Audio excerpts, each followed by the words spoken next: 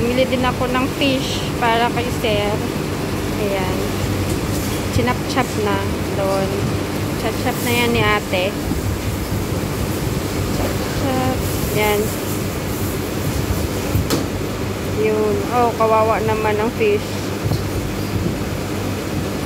Oh.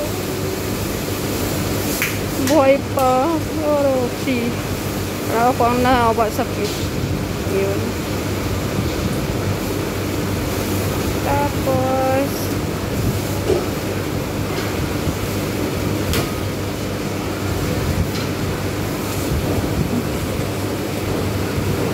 ito yung mga isda nila. Ayan.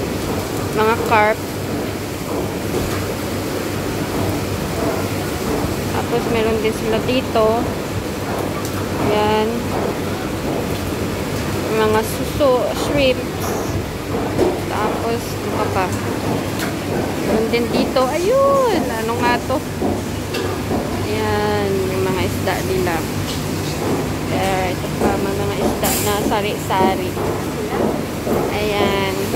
Sige, bayaran ko na si ate.